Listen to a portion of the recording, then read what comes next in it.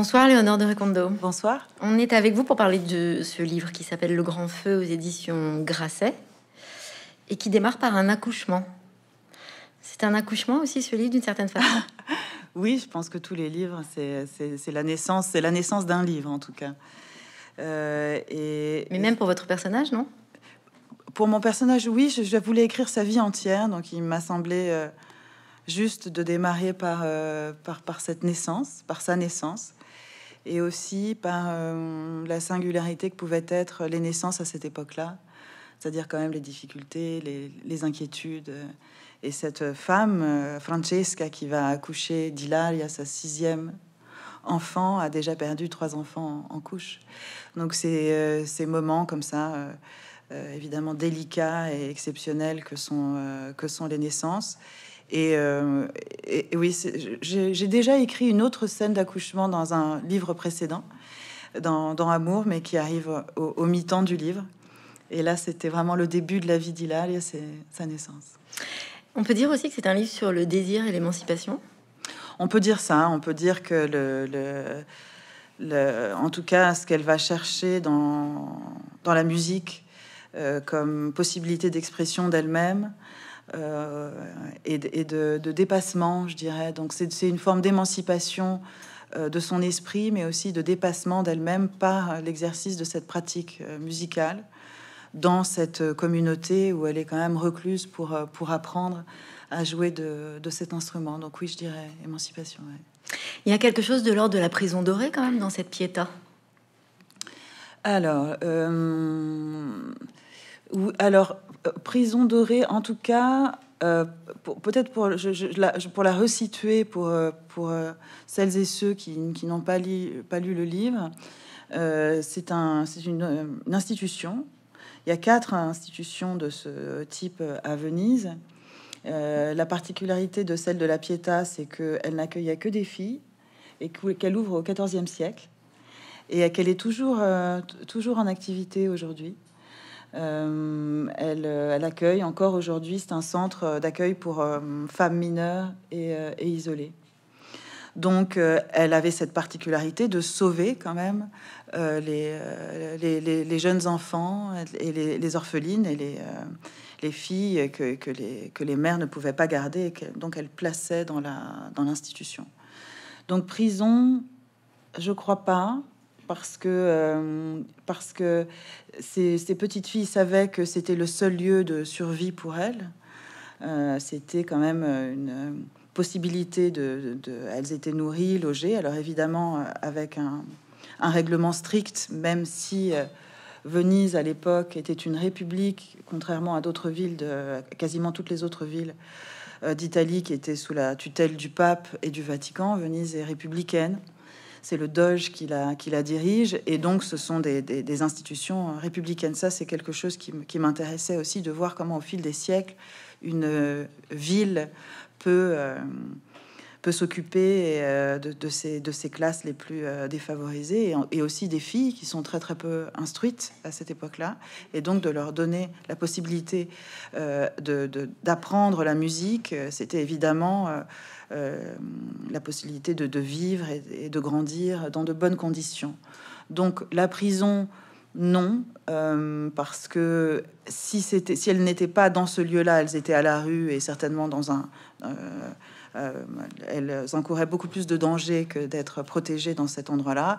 Après, les règles étaient, oui, euh, extrêmement, extrêmement dures. Donc, il y a quelque chose de doré dans cet endroit qui est celui d'une d'une chaleur, d'un réconfort qu'elles y trouvent, d'une instruction aussi. Mais de la contrainte aussi, quand je dis prison, c'est parce qu'il y a mm. ce côté. Et finalement, il y a beaucoup de symboliques dans votre livre qui se, qui se font écho euh, entre, entre elles, mhm. euh, et notamment celle-ci, parce qu'il est, il est question de la contrainte, de la morale, de la conduite, et vous faites indirectement aussi ce parallèle avec l'apprentissage du violon. Oui, ben, il y a une forme de rigueur de toute manière pour apprendre à, jouer d'un instrument qui est, euh, nécessaire à, l'apprentissage. ces, ces, institutions, elles fonctionnaient, euh, donc elles étaient euh, laïques, mais elles fonctionnaient, euh, le règlement était calqué sur ceux des, couvents. Même si en 1700, donc cette, mon, livre se, passe entre 1699 et 1715 en, gros. à cette époque-là, les couvents avaient étaient beaucoup plus ouverts et beaucoup plus libres que, la Pietà. C'est-à-dire vraiment, on pouvait euh, recevoir des gens, on pouvait en sortir, on pouvait recevoir du courrier, on pouvait avoir des, amants et des maîtresses. Donc, ce qui n'était pas du tout le cas de la Pietà. Mais bon, la Pietà accueille des toutes petites filles. Donc, de toute manière, elles, étaient protégées, ce qui n'est pas le cas des, couvents. On y va un peu plus tard. Euh, et, le fait d'élever depuis, euh, depuis le, elles arrivaient bébés souvent, elles étaient laissées dans le tour, ces petites filles. Le fait de devoir les élever, il y avait une protection euh, qu'on leur devait, et donc évidemment des règlements très stricts avec la messe le matin, l'apprentissage de, de, la musique l'après-midi, et puis ce qui, est, ce qui est extraordinaire, c'est que c'était pas seulement la possibilité de les sauver, ce qui est déjà extraordinaire en soi, mais c'est que le niveau euh, de ces musiciennes est exceptionnel. Donc ça demandait évidemment un travail fou d'enseignement et de travail de leur part, euh, de la part de ces jeunes filles. Elles sont autour de en, en 1700, enfin euh, au tournant du 18e siècle, elles sont plus de 800 dans la, dans la, dans la Pietà. Donc, c'est vraiment énorme d'accueil. La capacité d'accueil de ce, de ce lieu est immense. Euh, moi, ce qui me fascine aussi, c'est d'imaginer euh, euh, toutes les salles de travail et, de, le bruit qu'il devait y avoir de, musique entre les donc tous les tous les instruments étaient enseignés les instruments à cordes les instruments avant les claviers et aussi un chœur c'était d'excellentes chanteuses donc ça devait être une sorte de ruche comme ça bourdonnante fabuleuse et, euh, mais bon, oui, pour pouvoir de toute manière être musicienne euh, euh, professionnelle, il faut c'est beaucoup de c'est beaucoup de rigueur. Pour pouvoir tenir ces 800 filles, il fallait évidemment aussi euh, de la rigueur pour ces, toutes, pour ces bébés aussi, puisque vraiment elles arrivaient bébés, donc euh, les élever, d'abord une pouponnière, ensuite elles changeaient d'endroit euh, pour, pour grandir. Il y avait toutes, toutes, toutes ces femmes qui s'occupaient des, donc toutes les nourrices aussi qui, qui venaient pour, pour les élever. et et aussi dire que Venise euh, en 1700, c'est euh, une ville extrêmement euh, foisonnante, qu'elle est partagée la moitié du temps entre le carnaval et l'autre moitié entre le carême. Donc les périodes de carnaval, c'est six mois de, six mois de l'année. On connaît aujourd'hui, c'est le mois de février fou avec les, les, les capes, les déguisements, la possibilité d'aller partout. Donc c'était vraiment pendant six mois et avec tous les, opéras et les théâtres ouverts pour, pour accueillir cette vie vénitienne très très artistique, très très riche. Et, euh, et aussi euh, beaucoup beaucoup de compositions. Les, compositeurs euh, venaient, écrivaient. À l'époque, on n'écoutait que la musique de ses contemporains. On n'allait pas à l'opéra écouter du Mozart. Enfin bon, Mozart certainement pas puisqu'il était pas né, mais je suis pas sûre que Monteverdi était vraiment encore joué à l'époque. C'est-à-dire, on, allait à l'opéra écouter Vivaldi, Scarlatti, tous les tous les Vénitiens qui étaient là. Donc ils étaient obligés de fournir énormément de musique. Ils, écrivaient, ils écrivaient, ils écrivaient beaucoup de musique. Euh, donc ces périodes de, carnaval duraient deux mois. Elles étaient entrecoupées de périodes de carême, où euh, pendant carême, on ne pouvait pas aller. Tous les opéras et tous les théâtres étaient fermés. Et le seul endroit pour écouter de la musique, c'était les églises. Et c'est là que ces hospédales y jouent un rôle extrêmement important. C'est que euh, ce sont les donc pendant Carême, ce sont les très hauts lieux de la musique, les compositeurs qui n'ont plus de lieu et de et de, scène pour euh, pour euh, que leurs pièces et leurs morceaux de musique soient joués. ce sont les, les, églises qui les accueillent et la Pietà. Et donc le niveau, c'est ça aussi l'émulation vénitienne artistique vénitienne fait que euh, dans ces églises euh, qui accueillent pour le carême euh, la scène musicale vénitienne, le niveau est exceptionnel. Et Vivaldi, qui pendant le carnaval écrit, pendant les périodes de carnaval, écrit des opéras, va écrire des œuvres sacrées, sublimes pour, pour ces jeunes filles. Donc c'est tout ça, je trouve, qui fait qu'elles étaient obligées de, de vraiment d'avoir un niveau très élevé. Alors bon, quand même, je pense qu'il fallait avoir la chance d'aimer jouer d'un instrument, parce que c'est vrai que l'enfermement, quand on déteste jouer du violon, qu'on est obligé d'en jouer, ou alors qu'on chante faux et que donc, tout ça devait pas, bon, ça devait pas être tout le temps très agréable. Mais pour ma, comme comme je suis romancière et que j'ai le choix.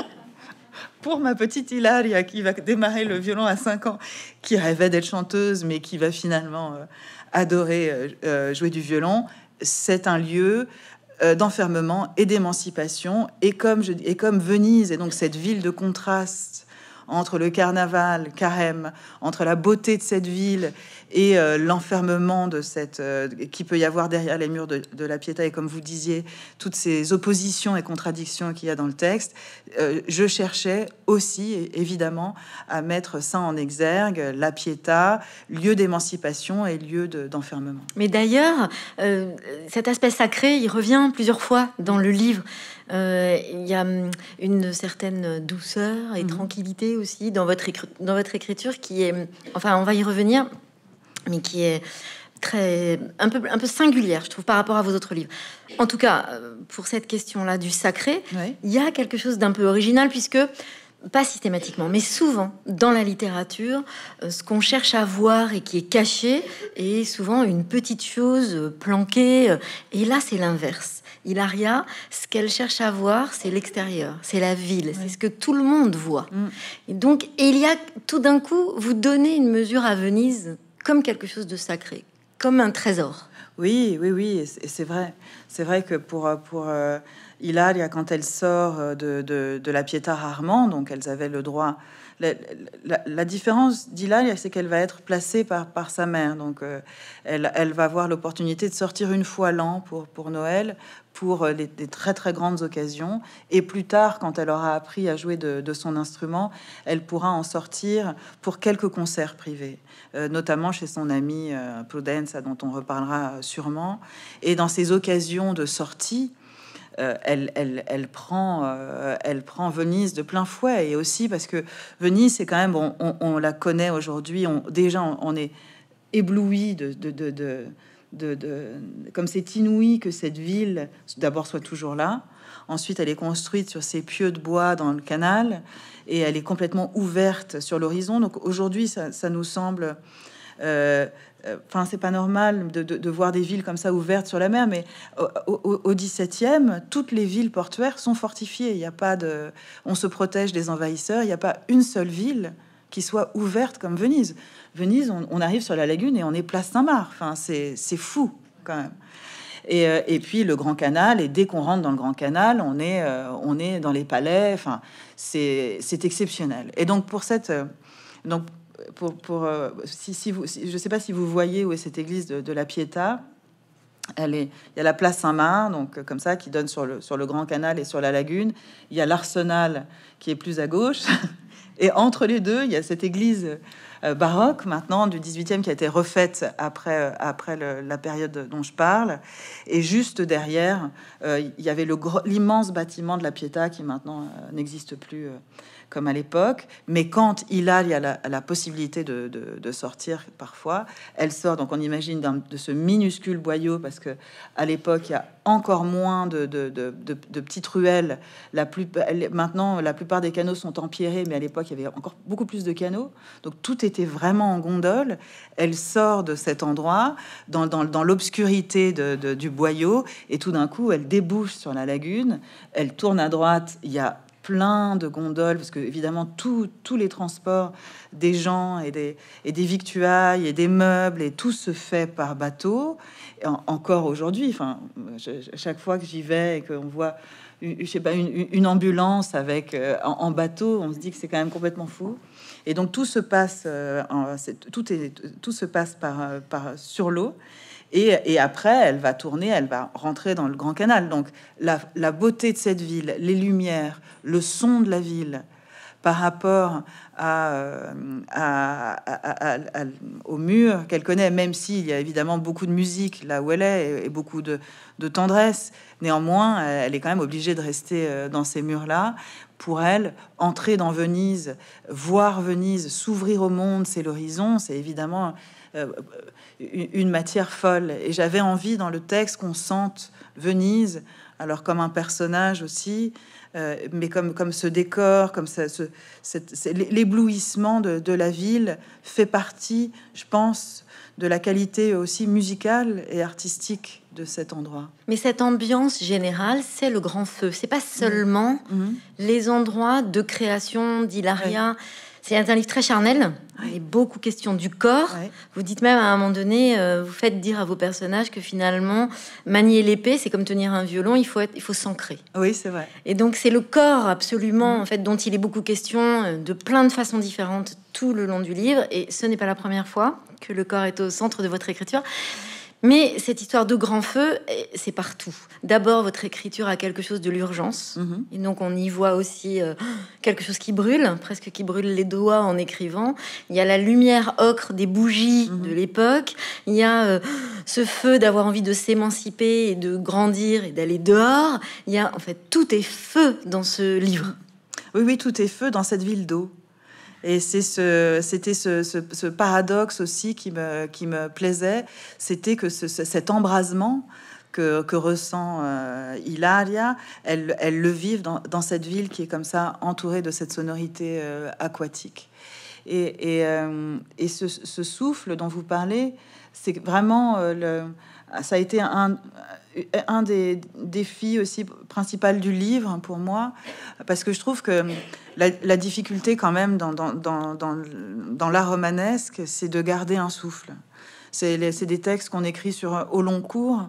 Euh, bon, alors moi, euh, dans, ce, dans le cas du, Grand Feu, mais comme souvent pour mes livres, j'ai eu toute une période de documentation par rapport à, au lieu de la Pietà, à l'urbanisme de Venise à l'époque. Enfin bon, la musique, je dois dire qu'en tant que violoniste baroque, cette période-là, je la connais. Je peux pas dire que, je, ne la connaisse pas, mais, euh, mais le, défi, c'était, je voulais écrire en effet, comme vous le disiez, un livre sur le désir, sur le sentiment, sur l'émotion, en fait, sur l'émotion artistique, sur l'émotion musicale qui se mêle euh, pour à un certain moment dans l'esprit d'Hilali à l'émotion amoureuse. C'est-à-dire, je, crois que euh, très très profondément que, que, que l'émotion artistique comme l'émotion amoureuse sont les, les deux transports qui nous, qui nous, qui nous, qui nous mettent, qui nous mettent hors de nous, hors de notre temporalité, hors de notre espace-temps. C'est vraiment cette émotion-là quand on va à un concert, quand on voit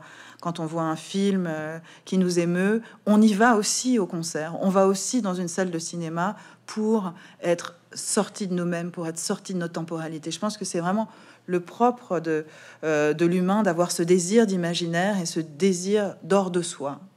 Et l'autre, euh, miracle, quand il survient, c'est aussi celui de la rencontre amoureuse qui fait que dans cette rencontre, avec le, la, rencontre du monde de l'autre, on est transporté, l'on dit le transport amoureux, on est transporté aussi en dehors de sa temporalité, de son, espace-temps.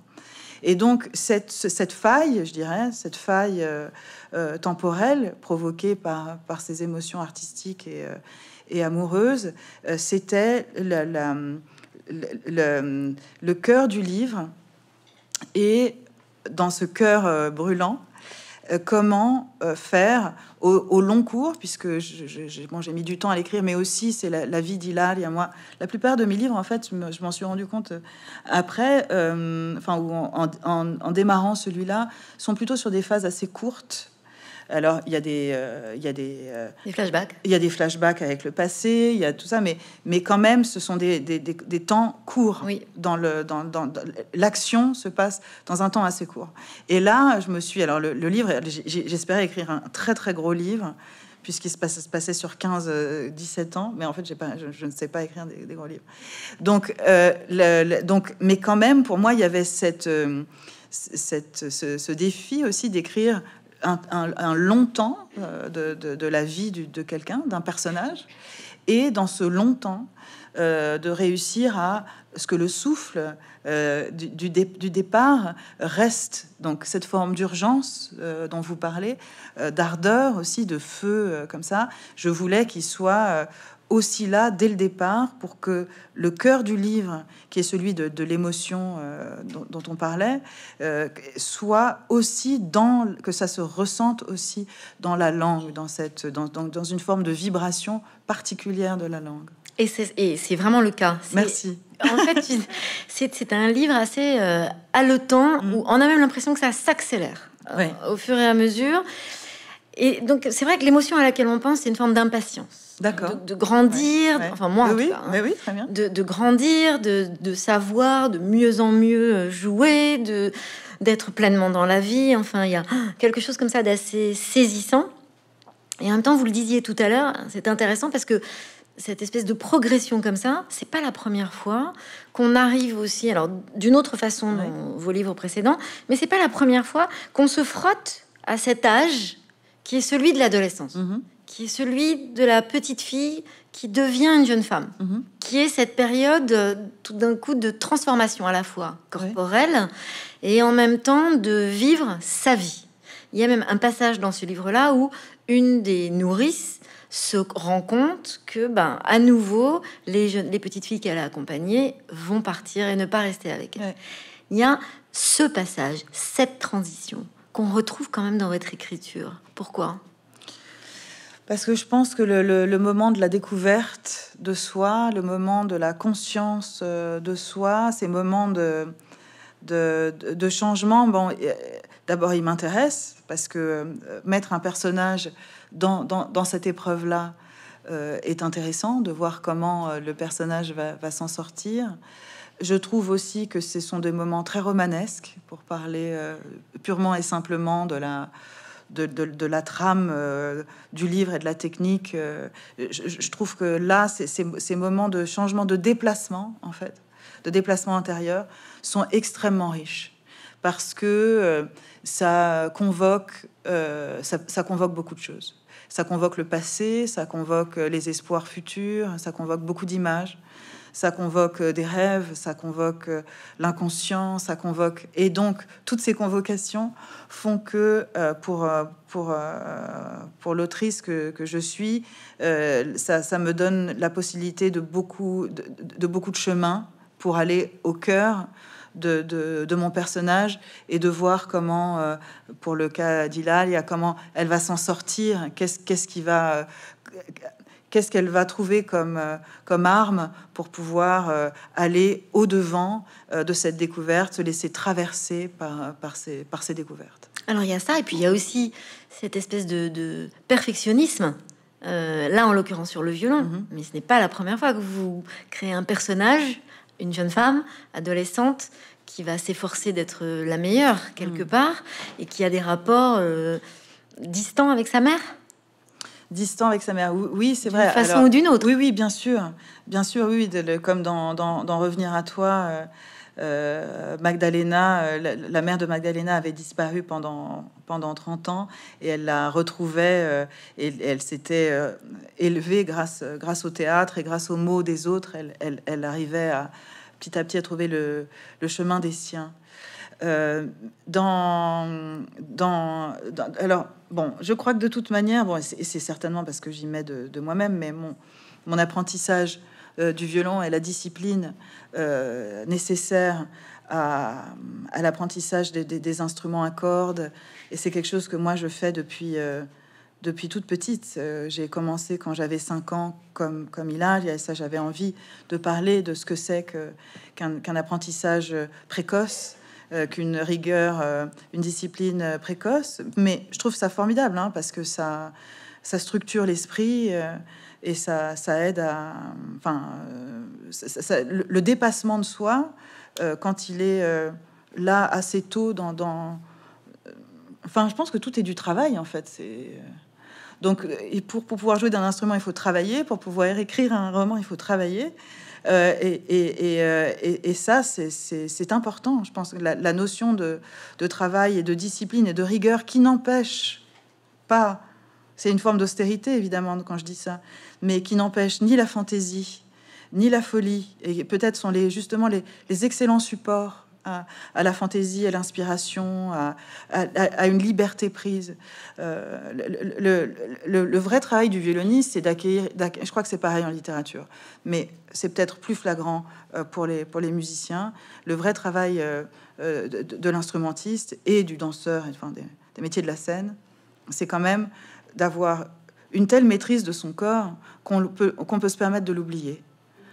Et c'est, voilà. Et c'est tout le problème et tout le travail, c'est une connaissance profonde pour, pour oublier, pour pouvoir euh, dépasser cette connaissance profonde. Mais si on ne le connaît pas, on ne dépasse pas. Et je crois que euh, la littérature, enfin en tout cas, moi je suis rentrée en littérature parce que peut-être je ne connais qu'un seul chemin qui est celui-là. Mais je suis entrée en littérature avec cette idée-là du travail, c'est-à-dire vraiment euh, d'une attention très particulière aux mots, au, matériel euh, de la langue, qui évidemment euh, jaillit d'une forme d'inspiration, enfin je veux dire de, de, moi-même, dans une forme de spontanéité, mais qui néanmoins, au préalable, il y a beaucoup de, il y a beaucoup de travail, beaucoup de documentation, etc. J'ai l'impression que ce n'est que quand j'ai accumulé assez d'informations, euh, qu'elles soient documentaires, historiques, sociologiques, euh, politiques, euh, tout ce qu'on veut, sur mon sujet, et que par ailleurs j'ai rempli des carnets sur qui sont mes personnages, d'où ils viennent, comment ça se passe, comment ils ont grandi, qui sont les parents, enfin, foule d'informations qui finalement ne vont peut-être pas du tout apparaître dans, mes livres, mais qui sont une forme de masse. Et cette masse, même si on ne la lit pas, je pense qu'on la sent. Elle est, elle est, ce, elle est tout ce qui est autour du livre, toute cette matière euh, invisible qui donne euh, l'épaisseur euh, au personnage, l'épaisseur au discours, l'épaisseur à la pensée et la possibilité d'une échappée poétique. On ne s'échappe pas d'un endroit si on si n'en sort pas. Enfin, il, me faut un lieu de départ pour pouvoir euh, m'en échapper. Et pour la musique, c'est la même chose? Oui, c'est la même chose. C'est-à-dire qu'on est obligé, quand on est musicien, d'avoir une telle maîtrise, de, mais très simplement de son corps, de ses bras, de, la partition qu'on joue. Si, si on n'est pas, si, on n'est pas en pleine possession de ça, euh, alors on ne peut pas se détendre. Euh, alors on peut pas laisser, se laisser tout à fait traverser et se laisser c'est complètement emporter par ce qu'on doit dire. Et je suis sûre qu'un comédien sur scène, c'est pareil s'il y a une angoisse sur le texte, s'il ne sait pas tout à fait où il va, si, enfin, s'il y a ces craintes-là empêchent, la liberté. Euh, et pour être, euh, oui, moi je pense que, pour être tout à fait libre euh, pour jouer un, morceau de musique, il faut que je, sache exactement ce qui m'entoure. Et à partir du moment où il y a cette maîtrise-là, mais dans le bon sens, dans le sens de la, maîtrise, de l'excellence et pas de la contrainte mais de la connaissance, euh, s'il y a euh, alors, alors il est possible d'oublier. Et ce qu'on vient écouter euh, dans un concert, je crois, c'est justement la possibilité pour un être d'être complètement libre dans ce qu'il dit, d'être tout, complètement libre dans le texte qu'il dit, dans la musique qu'il interprète. Et pareil, je pense que c'est pareil pour un, quand on lit un livre. Les livres qui nous embarquent sont sont les livres euh, où, euh, qui s'échappent, justement, qui, qui, qui, qui s'échappent du temps, qui s'échappent de leur, de leur espace, qui s'échappent de leurs contraintes. Et, euh, et c'est pour ça que moi, j'ai une, une un, amour extrêmement profond pour, pour la poésie. Parce que je pense que c'est dans... Alors là, on est dans le cœur et dans le noyau même de, de la littérature. Et ce rapport à une forme d'excellence, mhm. finalement, pour pouvoir être plus créatif, change les rapports dans une famille? Euh, Alors, je, dans, dans, les rapports, alors je, je, peux parler et, et, de, et de, de, mon côté, de mon expérience personnelle et, d'Hilaria, mais je vais d'abord parler de mon personnage de roman. Hilaria, oui, parce que comme sa mère euh, veut un autre destin pour elle, et que, euh, euh, que le sien, c'est-à-dire le sien étant euh, de, celui des femmes de l'époque, c'est-à-dire et, elle n'est pas, elle, n'est pas issue d'une classe défavorisée, elle n'est pas issue d'une femme, d'une femme, d'une famille très riche, mais sa famille, ils sont des, négociants en tissu, donc je dirais que c'est la classe moyenne vénitienne de l'époque. Il y a beaucoup de marchands et, beaucoup de marchands de de tissu à, Venise, mais la mère n'est pas instruite. La mère, elle s'est mariée, elle a travaillé avec son mari, comme, comme le font toutes les femmes de l'époque, ou alors elles entrent au couvent. Donc, elle, mais elle espère pour sa fille Francesca une, émancipation et une connaissance euh, une élévation hein, euh, intellectuelle et spirituelle qu'elle n'a pas trouvée. Et donc, quand elle va, elle, enceinte, avec son mari, écouter un office de Pâques euh, à la Pietà, elle, tout d'un coup, elle se dit Je veux que ma fille ait ce destin-là. Alors, évidemment, c'est écrasant pour l'enfant, parce que en plus, le prix à payer est assez cher, puisqu'elle est placée et qu'elle ne pourra voir dans, dans, la Pietà et qu'elle ne pourra voir sa famille qu'une fois l'an mai. Dans cette famille où deux sœurs sont restées, euh, dans, la, dans la famille, elle a, il a, il y a quand même un statut particulier, c'est-à-dire c'est aussi un privilège pour elle, elle le sent bien puisque sa mère le vit comme ça, c'est aussi le, privilège de pouvoir, euh, pouvoir s'instruire et de pouvoir euh, grandir en s'émancipant et dans une connaissance artistique et donc une connaissance du monde différente de celle de, de ses sœurs.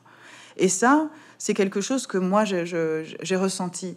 Mais je suis issue d'une famille d'artistes, donc très différente de, celle d'Hilaria, dans un moment euh, euh, de la vie euh, des femmes où, leurs conditions font qu'on est quand même beaucoup plus libre, même s'il y a encore du, travail, on est encore beaucoup plus libre et, et, en tout cas de choisir. On a une liberté économique, intellectuelle évidente.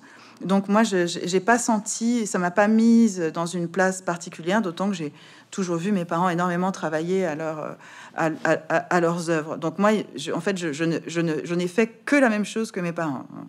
dans, des euh, espaces différents, euh, puisque ils étaient plasticiens et moi, j'adore évidemment la peinture et tous les arts plastiques, mais je, ne les pratique pas. Donc j'ai trouvé mes espaces, la musique et la littérature, mais c'est pas, en fait, l'excellence n'est pas le but. C'est pas du tout le but, l'excellence. Enfin, il faut exceller pour essayer d'avancer. Enfin, exceller, c'est se dépasser, c'est aller toujours un peu plus loin à l'intérieur de, soi-même. Mais le but, c'est la beauté. Le but, euh, euh, c'est l'émerveillement. Le but, c'est euh, essayer de croire que grâce à, ces objets qui semblent modestes, on peut voir le monde autrement, on peut en donner à voir autre chose, et je peux moi-même appréhender le monde d'une autre façon parce que parce que j'essaye de me dépasser et de connaître et que la connaissance d'un sujet, ma curiosité m'oblige à me à dépasser quelque, enfin juste connaître plus la connaissance. La connaissance, c'est l'émancipation. L'instruction, c'est l'émancipation. Et c'est ça aussi, euh, Hilaria. elle, en s'instruisant, elle s'émancipe. Et ça, c'est pas forcément quelque chose qu'on comprend. Euh, il faut du temps pour comprendre euh, ça. Mais une fois qu'elle l'a compris, il a, il y a un certain moment, elle comprend que euh, la, connaissance, même si elle est dans un seul, dans, dans, une seule discipline qui est celle du violon, cette connaissance aiguë, ce, ce, ce sillon qu'elle creuse, va lui permettre une connaissance du monde plus large. La beauté, cette recherche de la beauté, c'est aussi pour atténuer la mélancolie. Il y a une phrase qui dit ça dans oui, Je, crois que je dis euh, certains soirs la, beauté désarme. Non, la beauté certains soirs désarme la mélancolie. Je vais vous le dire. Est-ce que j'arrive à me citer correctement Peut désarmer la mélancolie. Peut. Ah voilà. Ah ah mieux. Parce que vous avez travaillé longtemps, donc. Ouais, j'ai beaucoup travaillé cette phrase. Ça, bah voilà. Non, non, mais c'est vrai en plus c'est vrai pour moi. Donc viser la beauté pour cette raison-là aussi? Oui, bah parce que la, beauté, c'est un... C'est un c'est, euh, ça, désarme la mélancolie parfois. On est, enfin, si je peux aujourd'hui, euh, de dire que le monde euh, nous percute de sa violence, c'est peu, c'est peu de le dire. Le, mais que croire encore à la beauté peut désarmer. Alors, je vais juste dire désarmer. Euh, oui, croire à la beauté peut désarmer. Il y a autre chose aussi qui est intéressante dans votre livre, c'est euh, donc c'est tout le rapport à la composition, puisque Hilaria ne fait pas seulement que jouer du violon. Euh, là où elle excelle, elle se différencie un peu des autres. Et là, on lui devine un charisme particulier, une présence. Mhm. Je disais tout à l'heure que le livre est très charnel On lui devine une présence naturelle impressionnante d'une certaine façon. et il y a deux pages dans lesquelles vous décrivez aussi finalement un univers j'ai envie de dire, polluant autour de la création, de la mhm. représentation, de jalousie, de rivalité, de, de, difficultés, etc. Ça, ça n'a pas changé. Non, ça, ça change pas, je pense. Et, j'avais aussi envie de montrer cet envers du décor parce que euh, euh, Vivaldi, euh, elle devient, Hilaria devient la, copiste de, Vivaldi. Et ça, c'est quelque chose dont, dont, je voulais parler, cette petite entreprise euh, d'être compositeur à l'époque. Donc Vivaldi, comme je disais, à un certain moment, il a, enfin, au moment où il enseigne à la Pietà, là, dans les années 1710, euh, il, euh, il a aussi, il, est, dirige un, un, opéra. Il est impresario, comme on disait à l'époque. Donc, il est impresario du théâtre Sant'Angelo. Euh, où il y a des, beaucoup d'opéras. Et le fait d'être, il n'est pas seulement compositeur, mais impresario veut dire euh, euh, les, contrats avec les, avec, les, avec les chanteurs, les décors, les musiciens, les machinistes, enfin, vendre les places, faire la publicité, enfin, tout ce, tout ce que fait un directeur de, de théâtre. Donc, imaginons cette, cette charge, plus la charge euh, de décomposition, puisque ce sont aussi ces œuvres euh, qui sont jouées, donc énormément de travail, la folie de travail. Et en plus, les cours de violon à la Pietà, fournir de bon. Donc on imagine bien que euh, il n'avait pas le temps de tout faire lui-même, et aussi d'un point de vue très pratique, les, les photocopieuses n'existant pas en 1710, pour pouvoir jouer la musique de, Vivaldi, les élèves, elles recopiaient en fait. Donc ils donnaient le conducteur, c'est-à-dire la partition avec toutes les voix, euh, les unes sous les autres, comme ça, comme la partition du chef d'orchestre, et euh, les petites mains, ces petites mains, comme elles faisaient toujours, et comme moi-même je l'ai fait euh, parfois, recopiaient les parties séparées pour pouvoir, pour pouvoir les jouer. Et, et je suis sûre, je, je, suis sûre de pas me tromper en disant que, vu la somme de travail qu'il avait, non seulement euh, ces, grandes élèves qui étaient les plus instruites et qui connaissaient, qui avaient évidemment aussi des bases de contrepoint et d'harmonie, il devait leur donner quand même de temps en temps des choses à écrire. C'est-à-dire pas forcément la voix, euh, le, chant, euh, la partie de chant, ou bon, mais à mon avis, une fois qu'il avait écrit la basse et le chant, toutes les parties intermédiaires qui sont celles des seconds violons et des, et des altos devaient être souvent écrites par ses élèves comme euh, d'abord comme, comme, comme exercice de, d'harmonie, et aussi parce que ça lui, elle, lui donnait un coup de main. Quoi. Et donc, cette ambiguïté de, du manuscrit et de, du fait que une de ses élèves est, et Hilaria, puisque je suis toujours, toujours la romancière de ce texte et que je fais toujours ce que je veux, c'est formidable. Euh, j'ai imaginé qu'elle qu'elle se s'immisçait dans cet endroit-là, c'est-à-dire dans, dans, dans, cet endroit de la création et de la composition, où finalement, évidemment, euh, la, la, question se pose pas de savoir qui a écrit, mais c'était pareil pour les peintres. À l'époque, c'était des ateliers. Euh, le peintre, le grand maître faisait le visage, faisait les choses très importantes du tableau, mais souvent les fonds et en tout cas les mélanges de peinture et beaucoup beaucoup de choses des tableaux étaient faites par les apprentis et pas la question de euh, l'authenticité et de l'intégrité d'un compositeur pour son œuvre. Je pense que ça arrive aussi un peu plus tard, enfin que longtemps, il y a une forme de mélange comme ça.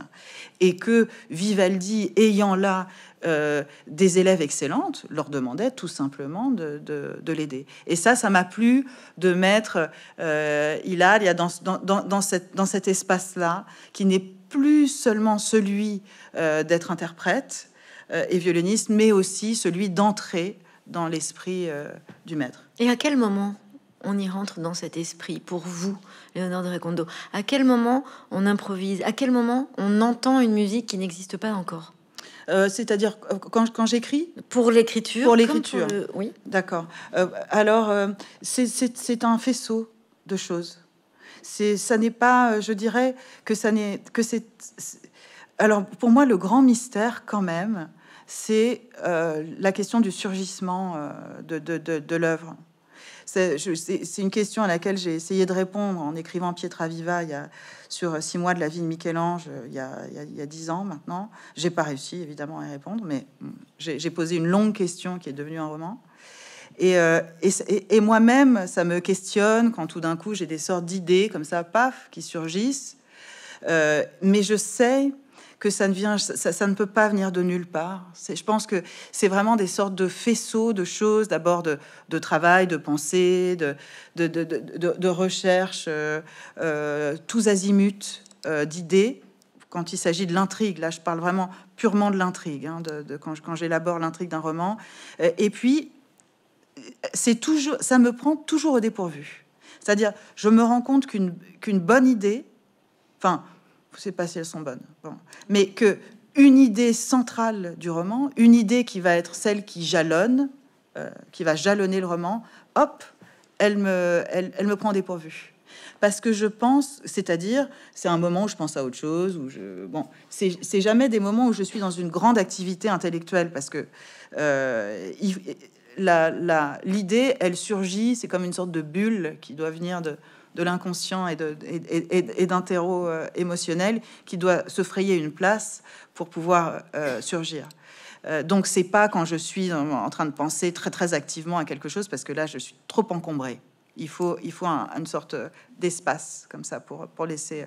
Mais je, ce n'est pas que dans la rêverie enfin, que, surgissent les idées ou le roman. Je pense que, euh, bon, comme chacun sait, c'est un roman, c'est 90% de travail, 10%, d'inspiration. Mais s'il n'y a pas ces 10%, le, roman est quand même raté, quoi. Donc il faut. Euh, mais en fait, je crois que je peux pas répondre à votre question. Mais est-ce que le violon intervient dans cette histoire? Est-ce que le violon est une voix? Pour vous Oui. Il vous souffle aussi quelque chose? Il y a quand même une interaction incroyable, oui. dans votre écriture, entre la musique et l'écriture. Et la question que je parie, tout le monde se pose, c'est euh, quel est le lien de l'un à l'autre? Eh ben, Je crois que je suis le lien. Je crois que le lien, j'incarne le lien. Euh, j'incarne le lien et il est... Euh, le lien, c'est en fait le but. Mon but, c'est cette sorte de, quête de beauté bon, pour transfigurer le monde dans lequel je suis le mien et euh, que je donne à voir pour ceux qui ont envie de le voir. Euh, mais c'est quelque chose de, c'est une quête euh, spirituelle très très très personnelle qui, qui m'engage à, à, ce, à ce travail-là. Donc j'ai trouvé, j'ai eu la chance de trouver deux, deux, deux disciplines qui sont la musique, donc là où je suis interprète, donc c'est un peu différent, et l'écriture, où, où là j'ai le champ libre je suis euh, créatrice. Ce sont deux. J'attaque cette question euh, de, la beauté et de l'émerveillement par ces deux biais. Donc le, lien, la, base du lien, c'est cette quête-là. Ensuite, d'un point de vue euh, juste narratif, d'un point de vue de la langue que j'utilise pour, pour, pour venir, en venir là, je pense qu'évidemment, elle est teintée de cette quête que j'ai musicale. Enfin, si j'ai choisi la musique, c'est pas un hasard non plus. Je pense que les notions de d'harmonie, de, rythme, de fluidité, de silence qui imprègnent la musique, qui sont la musique, euh, sont aussi pour moi celles du roman. Mais ça veut dire que finalement, tel que vous le présentez, l'écriture comme la, la, musique mhm. serait presque deux compagnons? Ah oui, absolument. Oui. Mm. Pour moi, il n'y a pas de différence. C'est juste compliqué à organiser dans mes journées. Il euh, y a pas, je, je ne, vois mais aucune différence dans ces deux pratiques. Aucune. La différence, c'est euh, bon, bah, que j'ai un violon et que l'autre, j'ai. Euh, mais d'ailleurs, j'écris à la main mes, mes, textes. Et je pense que le geste de l'archet, pour en venir à des choses comme ça extrêmement précises, le geste de la main droite de l'archet et, ce, ce, canal qui s'est créé entre euh, mon cerveau et l'expressivité, puisque quand même l'expressivité c'est la main droite et c'est l'archet, et que j'écrive de la main droite. Je ne peux pas écrire un roman euh, directement euh, sur le clavier. J'ai besoin du geste, du geste. Et, et, donc oui, c'est la même chose, sauf avec ces petites différences de, qui sont je suis interprète avec un violon, donc je suis le porte-parole, je suis la porte-parole de, de la composition de quelqu'un. Euh, alors que dans l'écriture, je suis euh, euh, créatrice. Bon, c'est comme si j'étais compositrice en fait. Là, c'est juste que je me suis. Ce champ-là est, littéraire. Mais pas musical. Pour vous, vous n'avez pas envie euh, parfois Non, j'ai aucune idée. De composition? Oui. Ah, rien. Aucune idée. Ah non, je, je suis nulle pour ça. non, non, j'ai mais aucune. Mais c'est vrai. Non, mais dans, mon parcours, ce qui est, ce qui est atypique, c'est que je sois pas compositrice en fait. C'est juste ça. J'aurais pu être violoniste et compositrice comme Vivaldi. Voilà. Par exemple. Euh, mais non, je n'ai aucune idée. Alors, la musique baroque, c'est un, répertoire qui me plaît beaucoup parce qu'il y a quand même de, l'improvisation. Mais c'est comme le jazz. Mais j'improvise sur une basse et sur une base qui m'est qui m'est donnée. Euh, et ce qui me vient dans le champ créatif, c'est euh, la, la littérature, ce sont, ce sont les mots. Mais c'est vrai que c'est un peu, c'est ça qui est atypique dans mon, dans mon chemin. Alors vous dites, vous parlez de la beauté et puis d'une forme de, quête aussi mmh, finalement pour euh, pour s'ouvrir au monde. On parlait tout à l'heure d'Hilaria qui regarde Venise avec euh, vraiment une admiration sans borne et on comprend bien pourquoi. Il y a un autre personnage dans ce livre qui s'appelle Paolo, qui n'est pas moins ambitieux de pouvoir vivre sa vie et parcourir le monde. Et là, on rentre dans un univers plus géographique, mhm. un univers plus masculin aussi. Je parlais d'épée tout à l'heure, euh, en tout cas pour l'époque. De la même façon, il y a ce feu pour se dépasser et aller ailleurs. Et ce qui les lit tous les deux, euh, on va le découvrir, ça va être un sentiment amoureux qui est relié par un ruban. Il y a quelque chose de Jean de Florette dans cette histoire. Oui, c'est vrai. Alors, euh, en revoyant le film de Jean de Florette, je me suis dit, waouh, en fait, euh, j'ai copié Pagnol. Non, j'irai pas jusque-là. non, non, mais c'est vrai. Mais le ruban, c'est le lien. Parce que, pour finir, il n'y a pas que ce ruban-là. Il y en a, il y a d'autres rubans dans votre écriture notamment un bleu. Enfin, il y a quelque chose. C'est quoi le ruban pour vous? C'est quoi le ben, Alors pour pour, objet? pour, euh, celles et ceux qui n'ont pas lu, euh, les, ces jeunes femmes quand elles jouaient, elles faisaient leur, leur, concert, elles étaient donc elles avaient cet uniforme blanc et euh, elles, revêtaient une ceinture rouge, un ruban rouge. C'était leur tenue de concert, ce, ruban rouge. Et euh, Paolo, un, jeune homme, va tomber fou amoureux d'Hilaria et il va réussir à lui prendre ce, à lui, à lui voler ce ruban à un certain moment. Euh, et il va se ceinturer avec. Alors, pour moi, le ruban, c'est le lien, enfin, au propre comme au figuré. C'est-à-dire, le ruban, dans ce cas-là, incarne l'objet de l'amour. Euh, il incarne Hilaria sur le corps de, Paolo. Et cet amour qu'ils vont vivre, qui n'est, qui, il va y avoir une rencontre, mais ça n'est pas du tout euh, un amour euh, charnel, c'est un amour adolescent, idéaliste, euh, qu'ils vivent en parallèle. D'abord parce que elle, d'abord pendant longtemps, elle se rend pas compte qu'il est amoureux d'elle. D'abord, elle, elle est recluse derrière les murs de la Pietà, donc il risque pas de se passer grand chose. Et lui, il est dans, ce désir fou dont vous parliez, de, lui aussi d'émancipation, en tout cas de sortir de ce palais, de sortir de là.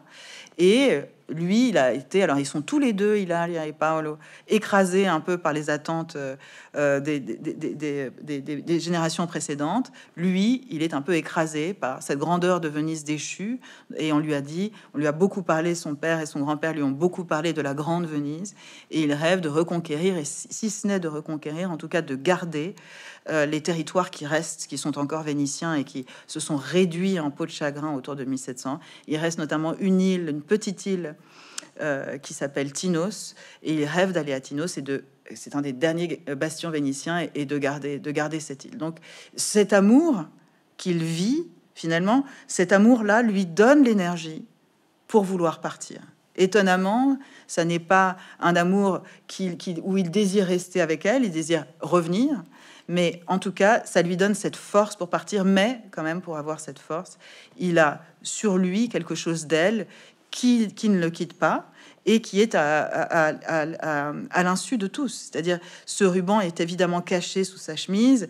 Personne ne sait euh, qu'il est, qu'il est ceinturé avec. Parfois même, il le serre très fort. Et, euh, c'est son secret à lui. Et c'est cette présence et c'est euh, sa manière d'être en présence euh, d'Hilaria. Alors à nouveau, on est bien entre ce lien que vous décrivez mhm. très bien, qui est celui de l'amour et de la musique qui pousse à une forme de dépassement. Et des rubans, il y en a un autre, on n'en dira pas plus, mais il y a un autre fil qui lui est bleu, qui existe aussi dans ce mhm. livre.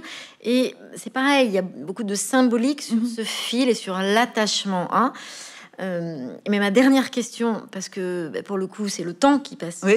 fil là. Oui, c'est vrai. Ma dernière question, c'est que finalement, ce dont on se rend compte en lisant ce livre, Léonard del Condo, c'est que la seule chose à laquelle les personnages, comme les gens dans la vie, sont le moins préparés, c'est bien l'amour. Ah bah oui, c'est l'inattendu. C'est-à-dire tout le monde attend l'inattendu. Mais euh, et, c'est. Euh, Mais vous vouliez écrire sur ça? Je voulais écrire sur ça. Je voulais écrire sur le sentiment amoureux. Je voulais écrire. Donc je dis, j'accentue le mot sentiment pour ne pour dire oui, c'est un livre sur le désir, mais c'est surtout euh, un, livre sur l'émotion amoureuse. Cette première découverte dans la vie quand on est adolescent et qu'il y a cette question du premier amour. Brûlante. brûlante. Comme un grand feu. Comme un grand feu où on est euh, projeté en dehors de nous, où tout d'un coup il y a ce, cette réalité du monde qui nous traverse, ce miracle du monde qui nous traverse qu'est l'amour, et cette, immense euh, découverte que c'est pour, euh, pour l'un et l'autre. Merci Léonore Merci à vous. Merci.